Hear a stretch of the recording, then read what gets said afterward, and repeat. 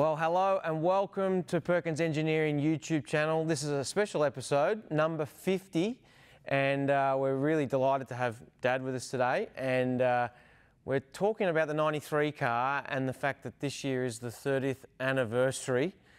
We've had this car on the racetrack, it's been restored.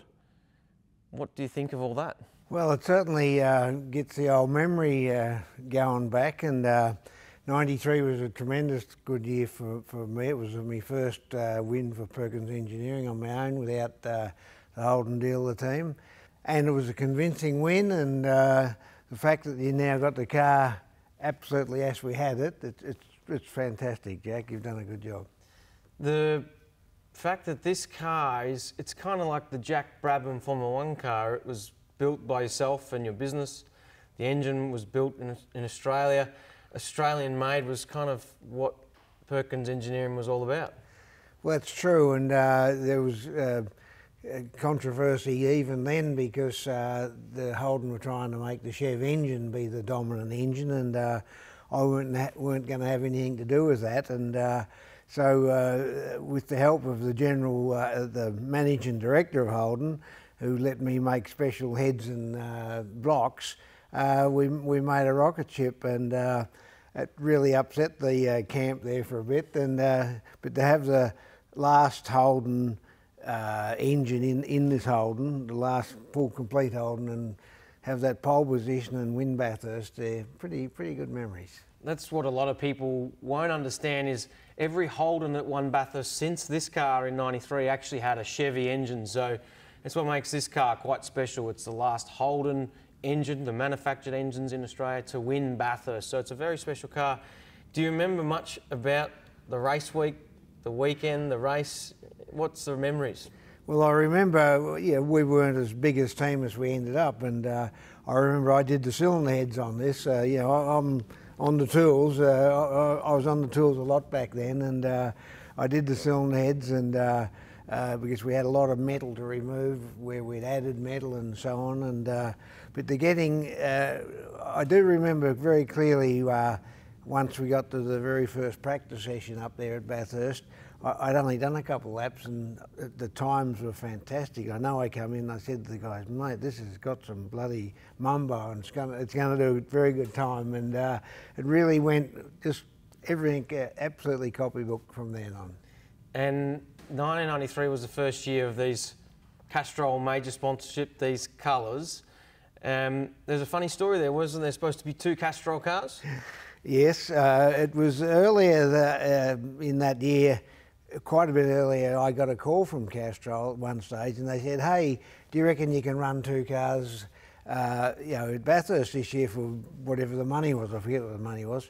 And I, without even thinking, I said, yeah, of course we could run two cars uh, at Bathurst and Sandown. And um, so time went on, and I'm starting to scratch the old wallet, thinking there's no way. And uh, so I rang up the managing director of Castrol and said, "Look, will you let me off the hook? I can't run two cars at Bathurst. I just haven't got enough money." He said, "I was wondering when I'd get that phone call." And I also made a call to Holden, who had frozen me out from sponsorships because I wouldn't run the Chev engine. And I rang up the marketing director and I said, "Listen, uh, Rob." Uh, I really am hurting for money. Can, can you sort me out with a bit of money for Bathurst? Oh, he said, uh, how much do you want? And I said, I, I, really need about 50 grand. He said, well, you'll get it, but don't tell anyone. And uh, so again, that's the relationship I had with Holden. It was sort of really good and really bad, but uh, the, the, memories of it are fantastic.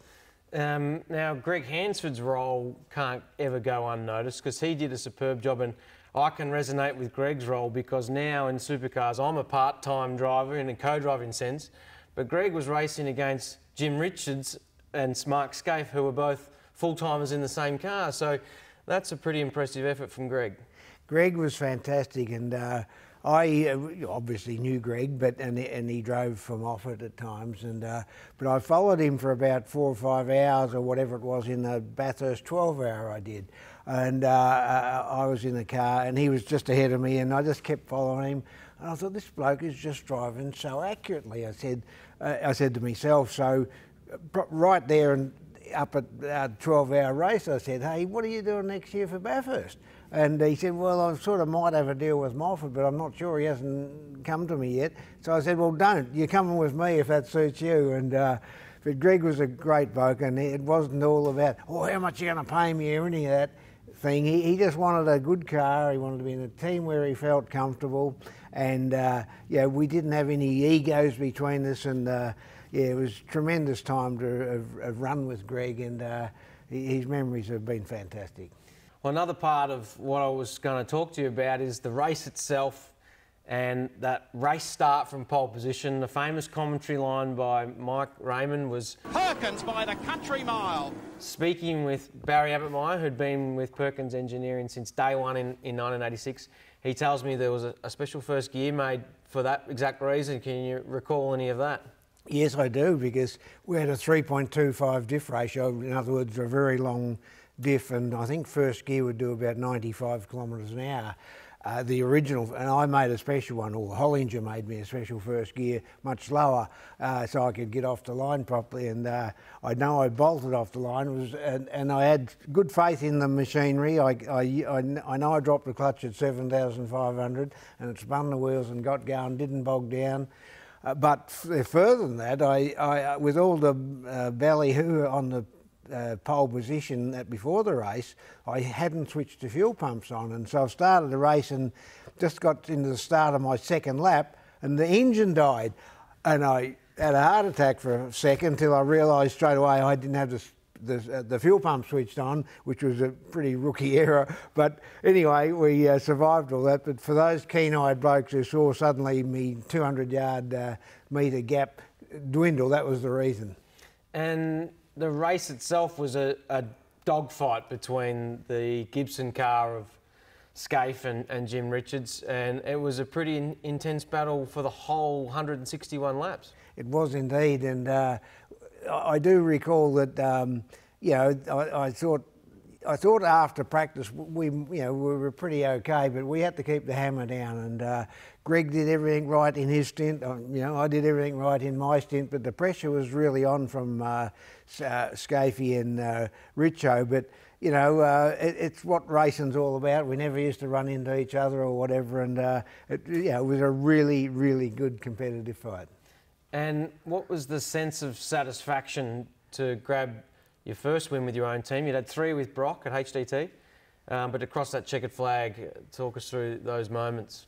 Well, it's a feeling that you know you can only you, only I have that feeling, or, and Greg would have, but a, a tremendous satisfaction, tremendous pride that uh, I'd been able to get my own bunch of guys together and uh, a team and. Uh, yeah, we, we did it tough as a privateer. We were a genuine privateer, and the, for those again keen-eyed guys, you'd see we wore our white jackets on the podium because we had different driving suits. I couldn't afford a driving suit for uh, uh, Greg, so to cover up his uh, old Moffat driving suit, we, we, wore our white jackets. But that, that feeling of getting the checkered flag, knowing you'd won it from the front, knowing you'd won it on sheer uh, preparation and speed, it was a fantastic feeling.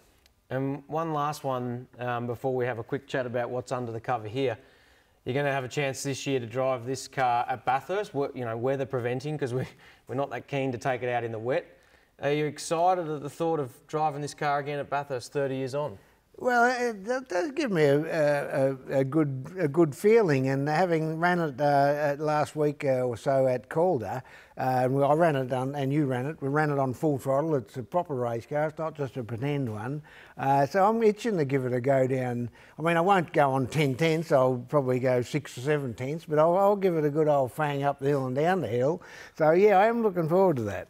Yeah, the one thing we haven't got in that car is the right diff ratio. It's got a diff ratio that's going to work at every track and hill climb or whatever in Australia, so it might run out of puff. But thanks for your time today, Dad. And, and another reason why I wanted to get you down here was because it's the 30th anniversary um, with my uh, own racing, we wanted to see how we could pay tribute to it. And thanks to Shaw and Partners, who have sponsored us this year in Super 2, we want to pull the covers off this one and, and show you what's under there. Sounds good, Jack, and thank you.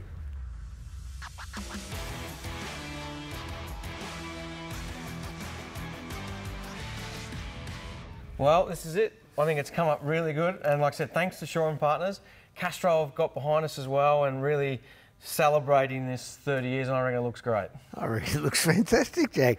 Even though we've got Shaw and partners on the side and a few things, it certainly looks like it's certainly a brother of that car, that's for sure. And I don't know how you kept the number there with all the silly rules that uh, are around, but it's fantastic. Looks real good, Jack. Yeah, real good. Yeah, well, we keep our car number 70, but number 11's part of the livery, and Supercars have given us approval for that. It, we've got some of the other original logos on the car as well. We've got the 7 Sport, crane cams, Dunlop, and it's cool to have the old retro Castrol logo on the car, on, on the bonnet, and I think it's come up a treat. So I'm really keen to get this car on track. Oh, it's really good. Looks real, really good, Jack. I cannot believe it. Big thanks to Erebus as well. We've even done the white wheels, interrupted our sort of preparations to, to do all this, but big thanks to everyone that's supporting the program and it's a really cool thing to do and we're going to have this at Sandown Bathurst and I dare say it'll probably stay on for Adelaide at the end of the year. Good on you, Jack. Well done, mate. Really good.